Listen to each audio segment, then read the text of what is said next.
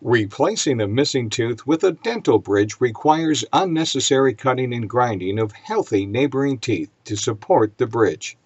Within three months, 30% of the bone is lost, and it continues to atrophy below the bridge, leading to gum recession. Plaque and debris accumulation below the bridge may cause gum inflammation and decay of the supporting teeth. Decay may progress unnoticed leading to an apical abscess at the tip of the supporting teeth, possibly causing a fracture.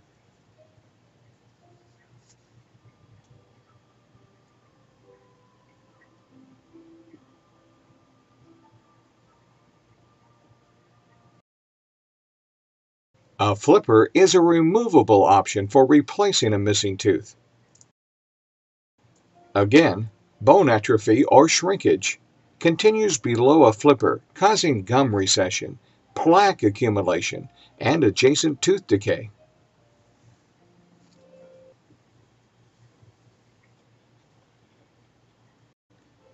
A Maryland bridge is another fixed option to replace a missing tooth. The winged extension of the bridge may easily detach or debond, requiring repeated bonding. Bone loss continues and plaque accumulation again may cause gum inflammation and decay of the adjacent teeth, thus leading to possible failure of the bridge. The standard of care for replacing a missing tooth is a dental implant.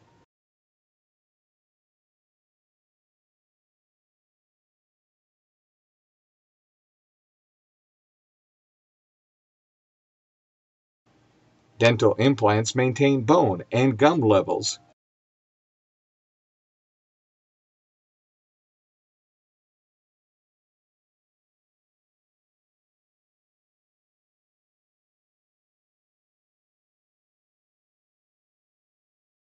and neighboring teeth are not destroyed.